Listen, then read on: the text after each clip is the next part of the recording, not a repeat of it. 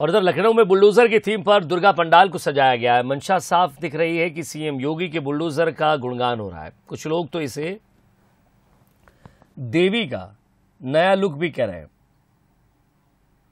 तो एक देवी का नया अस्त्र भी इसे बता रहे हैं। इस पंडाल का जायजा लिया हमारे संवाददाता आलोक राय ने। पूजा को लेकर जो है उत्साह और उमंग जो है हर तरफ़ है। और अगर बात करें राजधानी लखनऊ की तो यहाँ पर भी जो है दुर्गा पूजा के लिए तमाम पंडाल बनकर तैयार हैं और आज षष्ठी है। आज से जो है शाम से जो है पंडाल खुल जाएँगे। बाकायदा मूर्तियाँ जो है माँ की वो स्थापित हो चुकी हैं। लेकिन सबसे ज़्यादा चर्चा एक खास पंडाल की हो रही है, जो कैंट पूजा समिति पूजा समिति है लखनऊ के कैंट इलाके में। वहाँ पर एक खास पंडाल है जिसकी चर्चा हो रही है और जिसको हम दिखाना चाहेंगे, क्योंकि यहाँ पर जो माँ की मूर्ति है, उस वहाँ पर एक बुलडोजर भी रखा गया है और माँ को जो है उस बुलडोजर रूपी आसन पर बिठाया गया तो कहीं ना कहीं एक बड़ा संदेश देने की कोशिश की गई, क्योंकि जिस तरह से योगी सरकार में उत्तर प्रदेश में अपराध के खिलाफ, माफियाओं के खिलाफ बुलडोजर चला है, और एक बड़ा संदेश दिया है एक बड़ी कार्रवाई की है, जिसकी चर्चा न सिर्फ़ उत्तर प्रदेश में हो रही थी, बल्कि उत्तर प्रदेश से बाहर के राज्यों में भी, कई राज्यों में इस मॉडल को अपनाया गया, इसकी चर्चा हुई, और विदेशों तक भी धूम रही, विदेशों में परेड में जो है बुलडोजर निकाला गया बुलडोजर पर लोग थे, उसको साथ लेकर परेड कर रहे थे। तो कुल मिलाकर एक बड़ा संदेश था।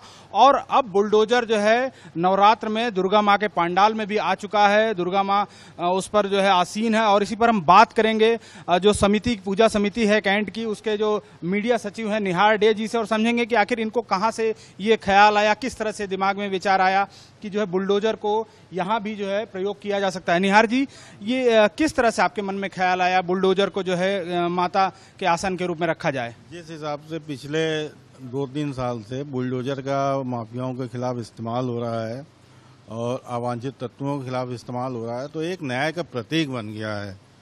तो हम लोग ने कहा, जब न्याय का प्रतीक हो गया, क्योंकि माँ दुर्गा भी हमारी न्याय की एक मूर्ति है, अन्याय के खिलाफ हमेशा उन्होंने लड़ाई लड़ी है। तो हमने कहा, न्याय का प्रतीक बुलडोजर है तो क्यों ना बुलडोजर को हम माँ की सवारी के रूप में इस्तेमाल करें। बुलडोजर को एक नया नाम देते हुए बुलडोजरास्त्र। ये नाम उन्होंने दिया है बाकायदा और इसीलिए इस पांडाल में बुलडोजर का प्रयोग किया है, जिस पर माँ दुर्गा को आसीन किया गया है। कैमरा पर्सन सत्येंद्र के साथ आलोक राय, बंसल न्यूज़, लखनऊ।